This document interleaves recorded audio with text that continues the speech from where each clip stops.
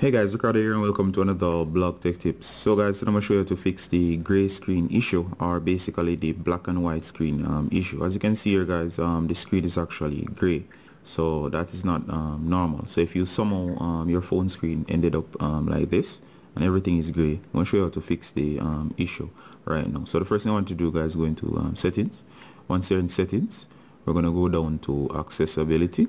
So let's look for the accessibility options, scroll down once you see that guys you're gonna go into um, vision right? You're just gonna scroll down all the way to the bottom down here.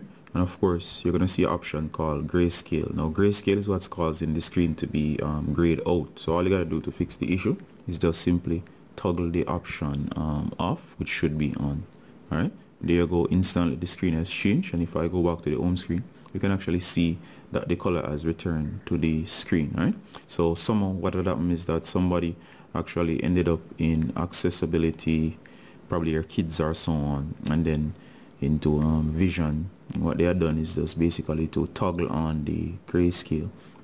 So grayscale causes the screen just to be like this. It's very easy to disable just toggle the option um, off right? Once you toggle the option off you should once again be able to see your lovely screen or display and get all the vivid um, colors that the Samsung Galaxy S8 is actually capable of producing. Alright guys, so this is Ricardo from Blog Tech Tips showing you how to fix the gray screen or black and white screen issue on the Samsung Galaxy S8. Bye.